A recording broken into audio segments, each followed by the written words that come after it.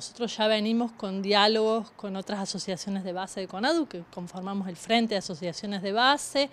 junto a la CONADU Histórica también. Tuvimos un encuentro virtual con eh, asociaciones de base del FABI de la CONADU Histórica la semana pasada y se acordó eh, coordinar medidas. ¿no? En principio haremos actividades de visibilización, pero ya hemos votado en esta asamblea un paro por 48 horas para el 18 y 19, martes y miércoles,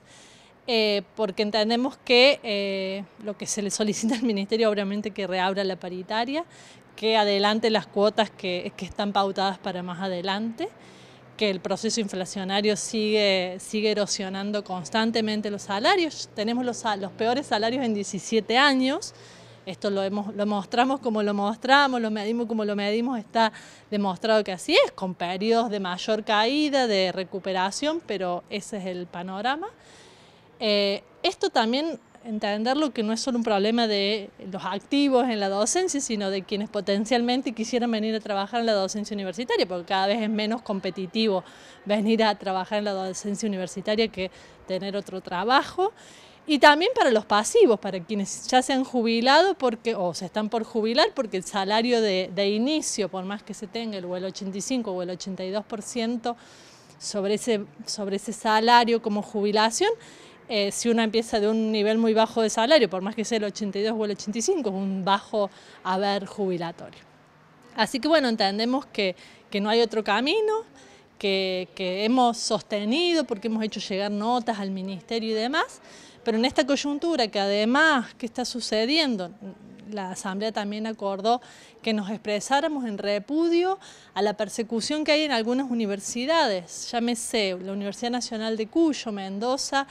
ha amenazado con hacer descuentos por los días de paro a los docentes y las docentes de esa universidad. La Universidad Nacional de Córdoba llamó a una conciliación obligatoria, algo un poco extraño por el paro que estaban realizando las,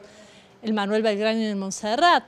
Digo, eh, en, todo un, en, en un momento que, que, se viene complicando y que está afectando a los derechos de lucha que tenemos los y las trabajadoras, así que bueno, es instar a la comunidad universitaria para que defendamos a la educación, buscamos, lo que buscamos en realidad es garantizar que no haya docente que esté ganando eh, por debajo de la línea de la pobreza, básicamente, y que se garantice el nomenclador, que ha sido un, un,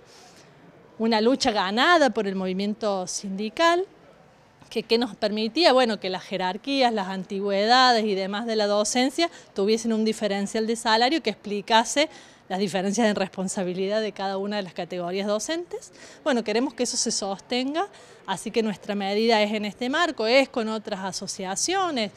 de la CONADU Mar del Plata, Rosario, San Juan, General Sarmiento han confirmado medidas para esa semana junto con la CONADU Histórica y entendemos que hay asambleas que se van a estar realizando en estos días donde podrían haber más universidades que se sumen. Así que bueno, ese es el panorama y esperamos tener escucha a nuestras demandas.